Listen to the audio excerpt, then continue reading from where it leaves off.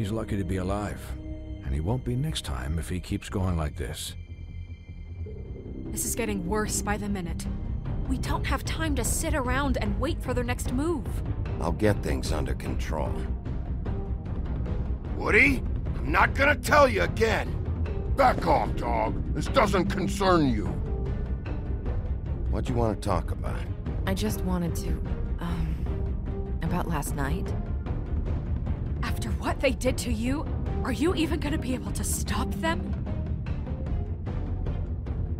Don't hold out on me, Jack. You've always got some angle. Not this time. I know when a mark's not worth the trouble. Do you? Don't make me come down there to deal with you. I don't want it. You don't want it. then again, you don't have much choice at this point, do you?